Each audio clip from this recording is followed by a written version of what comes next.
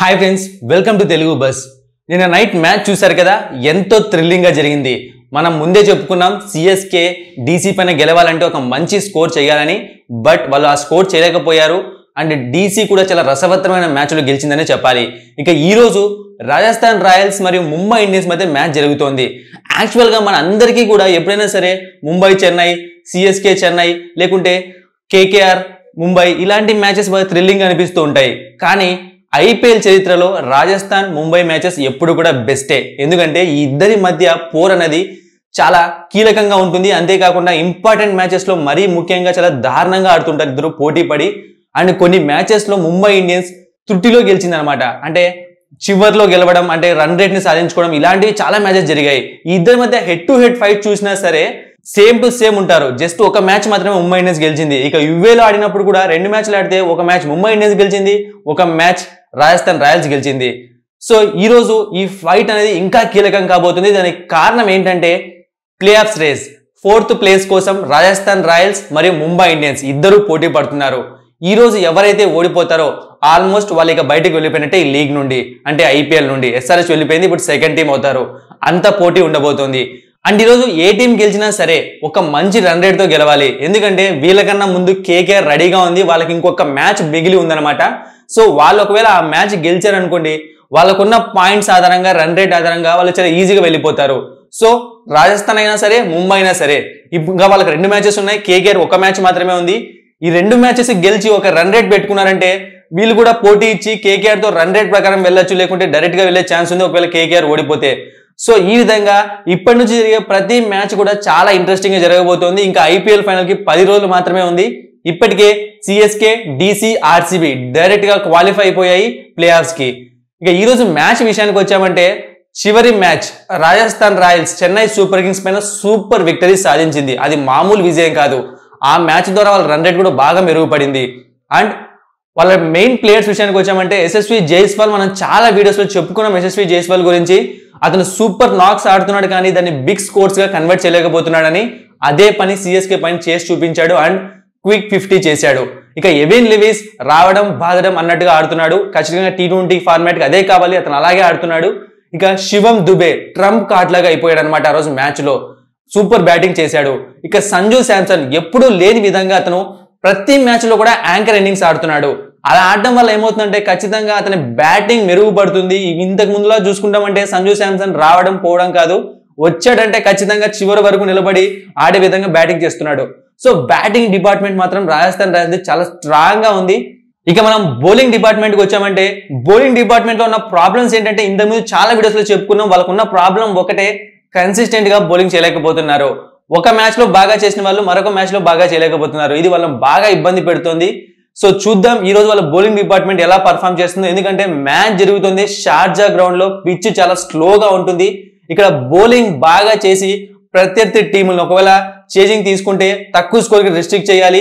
అది ఎలాగైనా సరే బౌలింగ్ బాగా చేస్తేనే ఇక్కడ గెలవడానికి ఎక్కువ అవకాశాలు ఉంటాయి. ఎందుకంటే ఇక్కడ బ్యాట్స్మెన్స్కి అసలు అనుకూలించదు. ఎవరైనా సరే మంచి పరుగులు చేయాలంటే కొంచెం కష్టపడాల్సిందే. ఇక ముంబై ఇండియన్స్ విషయానికి వచ్చామంటే ముంబై ఇండియన్స్ టీం అనగానే కొంతమంది ఎప్పుడు ఆలోచించే వాళ్ళు అంత స్ట్రాంగ్ టీం అంత బ్యాటింగ్ లేనప్ అంత బౌలింగ్ వీళ్ళను కొట్టడం ఎలా అని. అయితే ఈ సంవత్సరం ప్రతి సంవత్సరం లాంటి కన్సిస్టెన్సీ వీళ్ళ టీంలో లోపించింది. అంటే ఫస్ట్ ఓపెనర్ దగ్గర నుంచి లాస్ట్ టైండర్ వరకు ఎవరు కూడా కన్సిస్టెంట్గా పర్ఫామ్ చేయట్లేదు. ఒక మ్యాచ్లో ఆడిన వాళ్ళు మరొక మ్యాచ్లో ఆడరు. అండ్ టీం మొత్తం అస్సలు ఆడట్లేదు. ఆడితే ఒక బౌలర్ ఆడతాడు లేకుంటే ఇద్దరు బ్యాట్స్మెన్స్ ఆడతారు. ఇలా ఆడటం వల్ల ఆల్మోస్ట్ ఈ మ్యాచెస్ ఓడిపోవడానికి కారణం కూడా ఇదే అనమాట వాళ్ళ కన్సిస్టెన్సీ లేకపోవడం.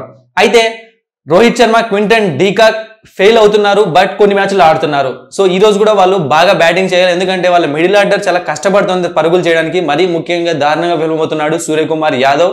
ఇక అతనికి తోడు తర్వాత వచ్చే బ్యాట్స్మెన్స్ కూడా సరిగా పర్ఫామ్ చేయడం లేదు. సో చూద్దాం ఈ రోజు వాళ్ళ బ్యాటింగ్ లైనప్ ఎలా ఎదుర్కొంటుందో. అది కూడా స్లో పిచ్ పైన ఎలా జరుగుతుందో ఈ మ్యాచ్ అన్నది.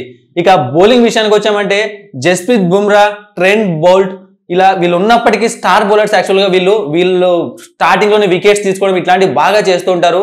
అయితే ఈ ట్వంటీ ట్వంటీ వన్ ఐపీఎల్లో మాత్రం ముఖ్యంగా పేస్ టూలో వీళ్ళ ప్రభావం అంతగా కనిపించలేదు. ఇక రాహుల్ చాహర్ని కాదని చెప్పి జయంత్ యాదవ్ని తీసుకొని వచ్చారు. అతను పర్లేదు అంటే ఎక్కువ పరుగులు అయితే ఇవ్వలేదు మంచి బౌలింగ్ చేశాడు. ఖచ్చితంగా ఈ రోజు అలాగే కంటిన్యూ అవుతాడు. ఇక పోలాడ్ నుంచి ఒక మంచి ఇన్నింగ్స్ రావాలి. సూర్యకుమార్ యాదవ్ బాగా ఆడాలి. సో ఈ విధంగా టీం అనేది చాలా ఇన్కన్సిస్టెంట్గా ఉంది. అండ్ ఈ మ్యాచ్ వాళ్ళకు ఎంత ఇంపార్టెంటో బాగా తెలుసు. సో ప్రెజర్ అనేది రోజు రోజుకి పెరుగు పెరుగుతూనే వెళ్తుంది అనమాట ముంబై ఇండియన్స్ పైన.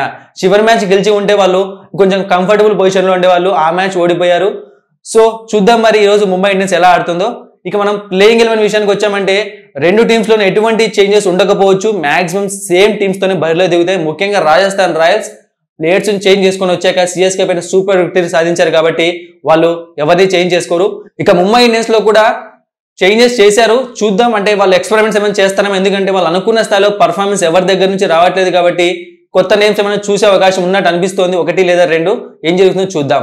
ఫ్రెండ్స్ ఇక మనం డ్రీమ్ ఎలెవెన్ టీమ్ విషయానికి వచ్చామంటే ఈ వీడియోలో నేను బెస్ట్ టూ ఆప్షన్స్ ప్రొవైడ్ చేస్తాను. ఆ టూ ఆప్షన్స్ కూడా ప్లేయింగ్ ఎలెవెన్ ఎటువంటి చేంజెస్ లేకుంటే బెస్ట్ ఆప్షన్స్ అవి. ఒకవేళ ఒకటి రెండు చేంజెస్ జరిగితే సో ఆ ప్లేయర్స్తో మీరు కవర్ చేయండి. ఖచ్చితంగా మీరు సక్సెస్ అవుతారు ఈ టీమ్స్తో ఆ టూ ఆప్షన్స్ ఏంటో ఇక్కడ చూడండి. ఫ్రెండ్స్ మీరు మన తెలుగు బజ్ అఫీషియల్ టెలిగ్రామ్ ఛానల్లో జాయిన్ అవ్వండి. మన ఛానల్ నుండి వచ్చే ఏ అప్డేటు మిస్ అవ్వరు అక్కడ ఉన్నారంటే ఇక అంతేకాకుండా తెలుగు బజ్ అఫీషియల్ ఇన్స్టా లేకుంటే నా పర్సనల్ ఇన్స్టా రెండు మీకు కనిపిస్తున్నాయి. ఏదైనా సరే ఫాలో అవ్వండి. మీకు డౌట్స్ ఉంటే మెసేజ్ చేయండి. డ్రీమ్ ఎలెవెన్ టీంలో option one wicket keeper Sanju Samson batsmens Rohit Sharma Suryakumar Yadav Evin Lewis Yashasvi Jaiswal allrounders Pollard Shivam Dube bowlers Nathan Coulter Nile Jasprit Bumrah Mustafizur Rahman Chetan Sakariya. ఇక captain Sanju Samson vice captain Suryakumar Yadav. ఇక option two wicket keepers Sanju Samson Quinton de Kock. Batsmens Rohit Sharma Saurabh Tiwary Evin Lewis Glenn Phillips. Rohit Sharma captain Evin Lewis vice captain.